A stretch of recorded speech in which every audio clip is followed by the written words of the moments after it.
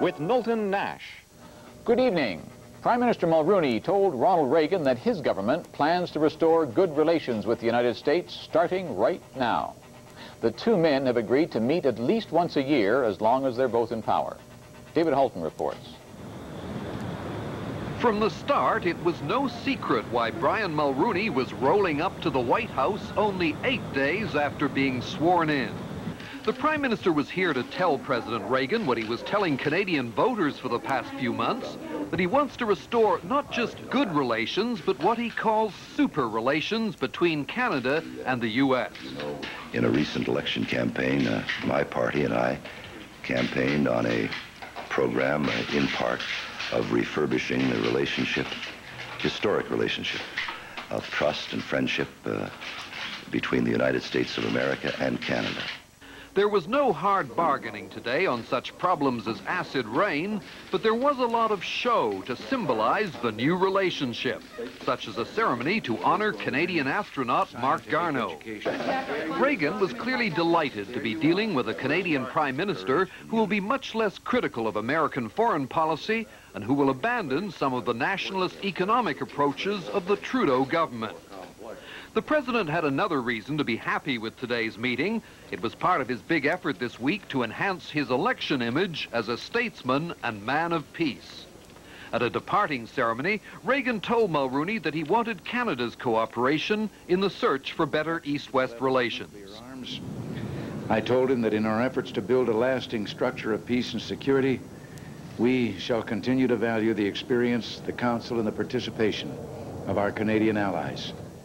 For our part, we intend to continue to seek opportunities for constructive dialogue with the Soviet Union and with Eastern European countries. It was already clear before Mulroney's departure this afternoon that he expects a payoff from the Americans in return for being a more supportive ally. After arriving at Andrews Air Force Base for the flight home, he told reporters that he wants more U.S. investment and firmer guarantees of access to American markets. Mulroney also repeatedly stressed that warmer relations with the U.S. won't mean less independence for Canada.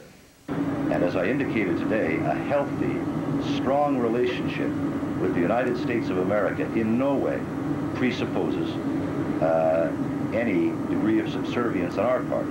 Nonetheless, Reagan administration officials are already talking tonight of a restored special relationship with Canada and privately, they're predicting that Brian Mulroney will be one of the most pro-American prime ministers that Canada has ever had. David Halton, CBC News, Washington. Joe Clark, the former prime minister, says he doesn't mind taking second place behind Brian Mulroney. Clark is now the Minister for External Affairs, and he was in New York today to give his first speech to the United Nations General Assembly. Terry Milewski was there.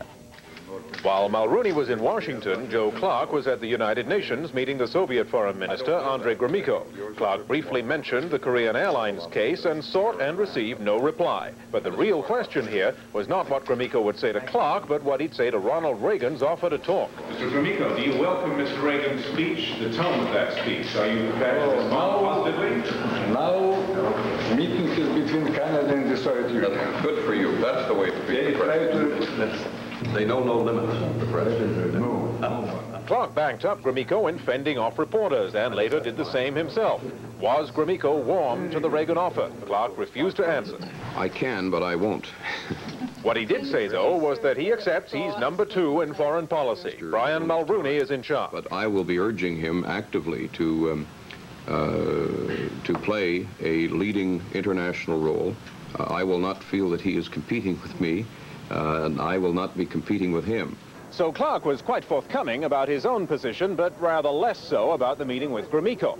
However, one Canadian official who did unbend a little noted that Gromyko was definitely less negative than usual about Ronald Reagan.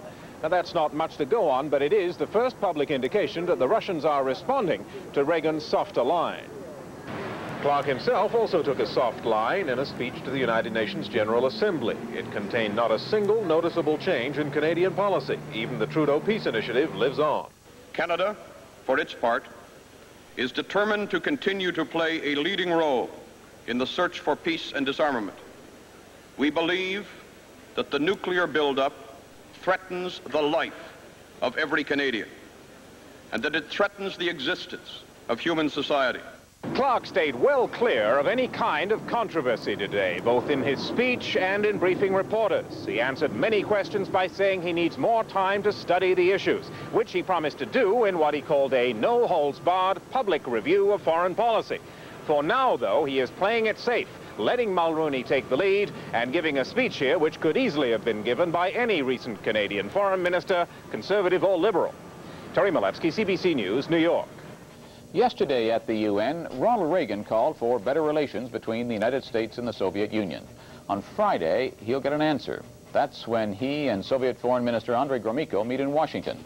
And even if Gromyko hinted privately that he's prepared to listen, publicly, the Soviets are keeping up their attacks. The first attack came from Soviet President Konstantin Chernenko. He spoke to Soviet writers at the Kremlin. He didn't refer to Reagan by name, but he accused the U.S. of preparing for war. Later, another attack came from TASS, the official Soviet news agency. TASS called the Reagan speech electioneering. Time for us to become a stronger and a more reliable ally of the United States and all our NATO partners and our friends in the Western Alliance. If this means giving our friends the benefit of the doubt from time to time, so be it. I'm going to do it. That forceful message was delivered by leader of the opposition, Brian Mulroney, nearly a year ago.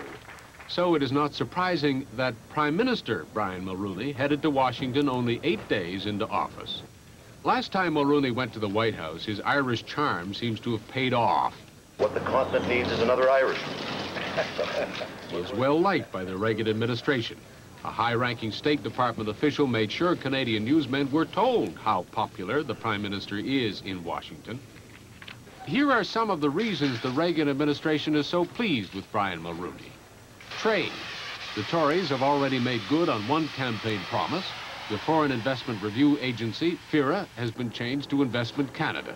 Its mandate is to attract foreign investment reviewing only the major foreign takeovers. FIRA has always been a thorn in the American side. Defense. The conservatives say they will increase defense spending by 6%. They want to increase the size of our armed forces. Canada's performance in NATO has long been a source of contention, and Prime Minister Mulroney wants Canada to honor its NATO commitments. No matter how well Brian Mulroney and Ronald Reagan get along, there are still many potential sore spots. Our exports are still vulnerable. Reagan may have prevented the imposition of steel quotas, but there are some tough decisions ahead in the critical area of trade. Although it was discussed today, there is still no agreement on acid rain. Each year, 27 million tons of sulfur dioxide is spewed into the air from U.S. plants, and the Americans are dragging their feet on cleaning it up. And Canadians are still uncomfortable with Ronald Reagan's international record there will be significant pressure on Brian Mulroney not to repeat anything like the cruise testing. 85% of Canadians favor a verifiable nuclear freeze. Canada and the United States have not always seen eye to eye on trouble spots like Central America either. It is not clear whether Brian Mulroney's willingness to give the U.S. the benefit of the doubt extends to Ronald Reagan's policies in that troubled region. And it will make the same point he made to Prime Minister Mulroney of Canada that despite the apparent hard line from Moscow, he wants to improve the atmosphere for talks. Mr. Reagan dismissed the idea that the Soviets have already rejected his initiative. As far as I know. Well, how do you explain Chernenko's speech? I don't. but in the wake of Moscow's harsh statements, White House spokesmen went out of their way to lower expectations for immediate results from the upcoming meeting with Foreign Minister Gromyko. But Henry Kissinger, arriving to help prepare Mr. Reagan for his lengthy meeting with Gromyko, said he expects some positive results. The president was quick to make it known that he's not taking the very negative response the Soviet news agency TASS had to his UN speech as the final Soviet position. I never get good reviews from TASS. the president is hoping for some different reviews when Secretary Shultz meets with Gromyko today and during his own meeting with Gromyko on Friday.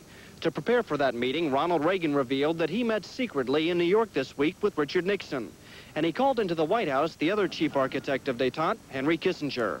Candidate Ronald Reagan criticized detente as a one-way deal, but as the election draws near, President Reagan continues to soften his position, and Kissinger now believes the Soviets are ready to deal aid, arms control, and the strengthening of cross-border ties. They also discussed acid rain, the National Energy Program, and foreign investment review regulations. Senior U.S. aide said the visit was a positive one, the two leaders agreeing to meet once a year, consult each other in the event of any disputes. Each other's interests in mind, to keep one another informed, and to hear one another out on the issues which may arise between us. Mulroney held a news conference on the airport tarmac after